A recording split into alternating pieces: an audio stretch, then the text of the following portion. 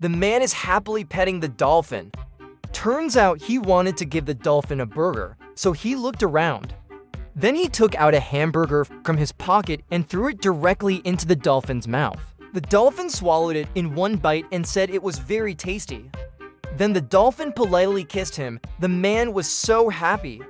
He saw that the dolphin wanted more, so he took another piece of fried chicken out of his pocket. But the dolphin opens its mouth and says it wants more, looking at the cute dolphin in front of him. Then he pulled out one last sandwich from his pocket. But the next moment, the dolphin is dead, so the man hid the sandwich. But the dolphin didn't respond to a few knocks. At this point, the man was completely panicked, so he gave the dolphin CPR. The man was about to cry, but the dolphin still wouldn't move, so he ran away before anyone noticed.